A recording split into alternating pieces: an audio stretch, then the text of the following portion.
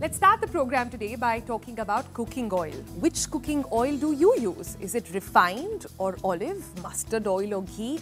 Are you using olive oil because you think it's going to lower your cholesterol levels? Or ghee, since that seems to be back in fashion all of a sudden? Right, there was a time when ghee was linked with heart attacks. Now ghee is understood to be bringing down the glycemic index. Now, what is the truth about oils which oils should be paired with what food? That's what we'll be taking a look at on the program today.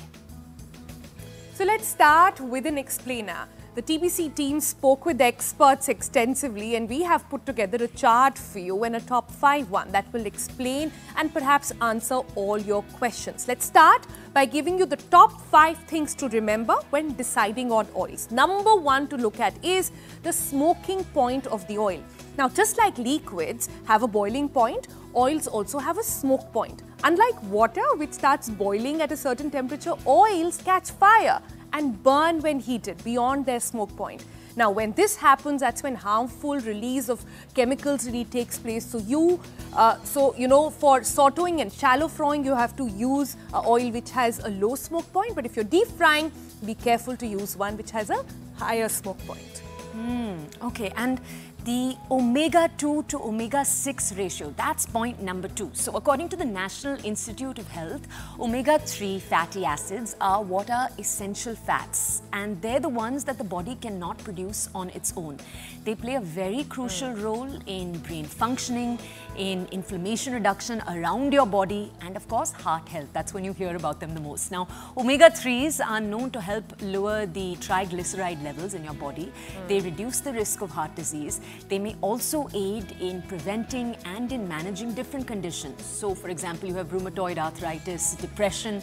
Who recommends an omega-6 to omega-3 ratio of 4 is to 1 to maintain optimal health?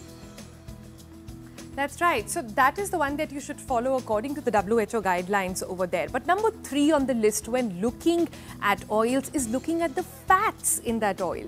And there are four kinds that you should be looking at. There is saturated fat, there is SFA that is called, there is mono or unsaturated fat or fatty acids over there, there's polyunsaturated fatty acids and there is trans fats. And don't worry, you don't need to know all of them. What you need to understand as a basic structure here is that every oil has a mix of all four.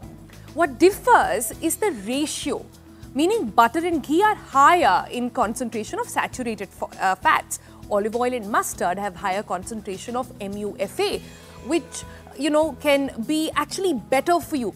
While seed oils have a higher concentration of F or PUFA, beg your pardon. So a healthy mix of oils is what is required in our diets. So you should look at one where MUFA is slightly more. Then there's the question of refined versus unrefined oils. So you have refined processes, including bleaching, deodorizing. They can significantly mm. reduce the levels of these beneficial micronutrients that are present in your oils. You've heard of cold pressing and unrefined oils. Those are the oils that retain higher amounts of these micronutrients. That's why you'll have a bottle advertising that it's cold press oil. Uh, this is when it's compared to refined oils. That's right. And number five on the list, and this is perhaps the most important one, do not reheat or reuse your oils. Reheating and reusing oils can have several negative health impact, not just cancer, remember. As the oil breaks down with heat, it can release harmful toxins, become more acidic, and these toxins can irritate your digestive system, potentially contribute to chronic diseases as well. So that's Ajka Gyan, the top five points that you need to remember when you're looking at oils. But of course, you will have questions, so do we. So we have two very interesting guests for you. Let's start with the first one. Priya Nagwani joins us now. She's a nutritionist and certified weight management coach. Good morning, Priya. Thanks so much for joining us here on the Breakfast Club. I want to first start uh, by asking you, what is your verdict? What is your go-to oil in your kitchen? Because that should give us a cue.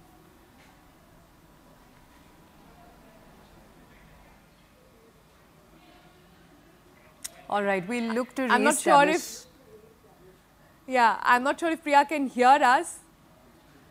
Do you? Right. So, so while we, yeah, do you have a particular oil that you like using a certain way before you were researching this entire segment? Is there something that you've learned with this? I've read too much about oils in the past couple of uh, days to sort of understand this, but I think I'm sort of gravitating more towards having oils which are cold pressed and mm. using a variety of them. So matching the right food with the right oil maybe and a huge ghee fan. I come from North India so you can understand. The price point is always, when I see with cold pressed oil bottles, the, the price point is always what scares me, especially with olive oil, coconut oil. I always in my head for some reason think cold pressed is going to equal more expensive. Is that something that's, that's true That's a good question. That's a good question, but remember a cold pressed oil is mm. an hmm. oil which is highly concentrated, so you don't use that much. It's like having a pure ingredient, but using little of it mm. because it's very strong in flavor. Mm. So a smaller amount would hopefully mean that even though it's priced higher, it'll go a longer way. All right, let's go over to our guest who is through with us, Sonal. Hi, Priya. I hope you can hear us this time around.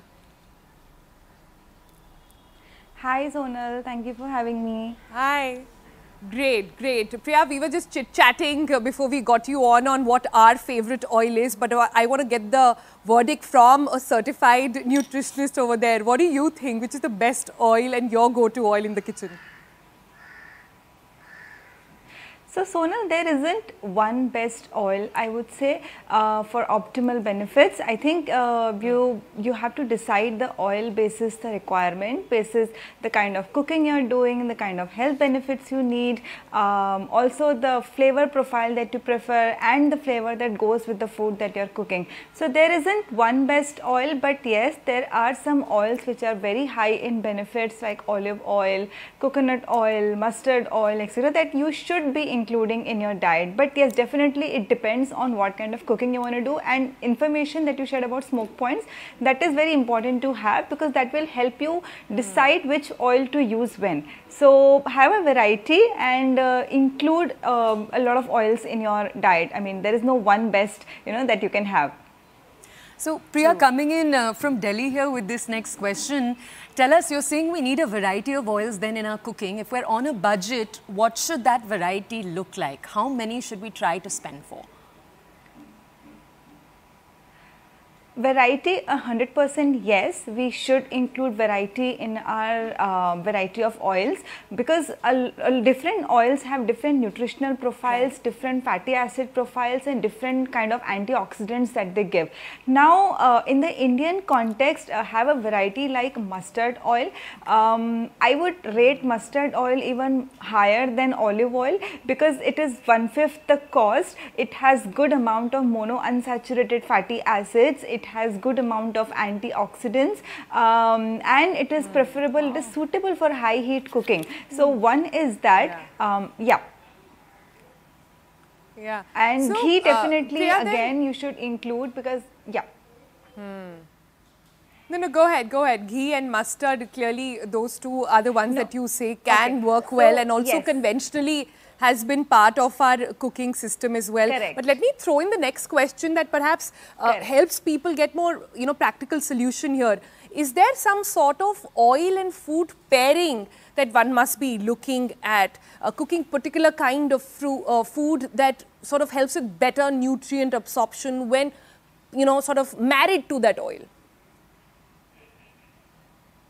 Definitely. Um, so, um, see, for regular cooking of sabzis, you know, for high heat cooking, uh, medium to high heat cooking that we have for Indian cooking, you can have mustard oil because it will not go rancid when you heat it at a at a higher uh, smoke because it has a higher smoke point. Now, uh, for parathas, etc., you can use ghee, but not while cooking it. You know, apply it uh, later when you when you have it on your plate. Um, use your butter, olive oil, sesame sesame oil etc. for your omelets because it has low to medium heat cooking. Uh, drizzle olive oils etc. cold pressed uh, oils on your salads because it will give that uh, flavor to your salads as well as you know it will match with the smoke point requirements of that oil. So this way you can have a variety of oils and pair it with the foods uh, in a manner which is suitable as per their smoke points and as per the flavors as well. Priya, can you also tell us, this is a bit of a naughty question, but when it comes to reheating oils, reusing oils, we, we say we can't do that. Is that a definite no? Is that, especially with vegetables oils, sometimes they say that, yeah, this kind of oil you can use, you can reheat. But do you say no, absolute no on all reuse? See, um, the lesser the better because what happens is when you reheat the oil the chemical structure in the oils changes. Um, you know there is a formation of trans fats uh, and uh, you know and some free radicals so which is inflammatory and you know is linked to chronic diseases. So better to not reheat the oil. In case you have a lot of oil left then you can use it just for sauteing or you know or for your regular sabzis but not for long time cooking. Um, i would suggest whenever you are craving for say a deep fried food, right, have a smaller kadhai which has small amount of oil in it so that you know there is no, there isn't much left for the use for use for using later. Mm. So that way I think I do this that you know I use smaller tadka kadhai and you know whatever I want to deep fry I can do that and I don't have a lot of mm. oil left with uh, me to use it. Um, other thing is you know that there is nutrient loss as well you know there are antioxidants there are vitamins which are heat sensitive. Now you, when when you keep reheating the oil, there isn't much nutrition left in the oil.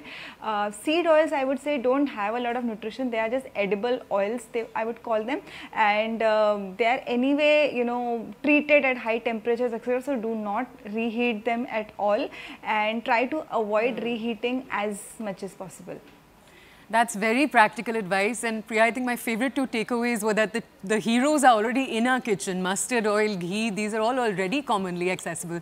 Correct. Thank you for telling us so much. Thank you for joining us this morning on TBC. Now, you know, on TBC, we like to take you from the experts into the kitchen, behind the scenes. That's right. So you heard from the nutritionist telling you what is the right composition, what you should right. keep in mind. But I'm sure you're thinking, what dish to patch if I'm making an omelette? Is she saying use ghee or should I use butter? What should I do? We had these questions as well. So we dialed up Lakhan Jethani. Uh, he is a chef and over uh, at Mizo, one of Mumbai's top restaurants over here. Let me just walk up to him. He's right here with us in the studio. Good morning. Good morning. Lakhan, how are you doing? I'm amazing. How are you? So Mizo is a restaurant that talks about clean eating, talks about lesser ingredients, the better. So I said, Lakhan, why don't you teach us a little bit about what oil to pair with what? 100%. So here you are with that uh, entire sort of lineup. Should we start with everybody's uh, favorite olive oil? 100%. Oil of the season? Oil of the season, oil of the century, I would say. Uh, olive oil is really, really good for salad dressings, as our nutritionist also said. Mm. Uh, it it goes through good processes to make this oil, so it doesn't go through a lot of factory processes.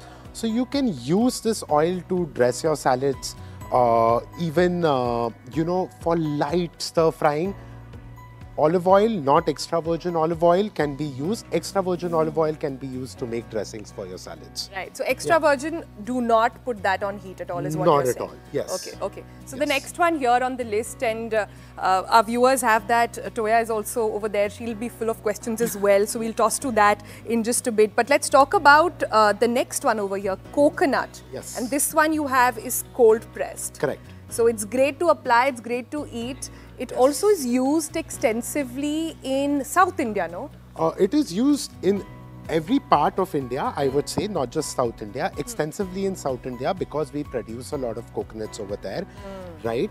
Uh, coconut oil has a high smoking point it is extremely nutritious. You can use it in all your curries, dosas, idlis to make a tadka. And a pro tip would be you can use it in baking to make cakes. Oh, nice. It is highly flavorful. Yeah. It imparts a really good flavor, you know. Coconut mango is excellent. Yeah. Coconut chocolate is excellent. yeah. Yes, yes, 100%. Nice. Yes. Okay, let's move to ghee then we all uh, love it. Uh, there was a generation that was told this will lead to heart attacks. Now yeah. we thankfully have data which says sugar is the one that does it, not fat. Not fat. But how to use ghee better in your kitchen? So in my house, we would use uh, ghee on almost everything now. Hmm. earlier, there were these myths that you cannot use ghee while pan frying or sauteing. Hmm. But if you want to lightly pan fry or lightly saute, if you want to butter your bread, but a light heat, ghee is fine.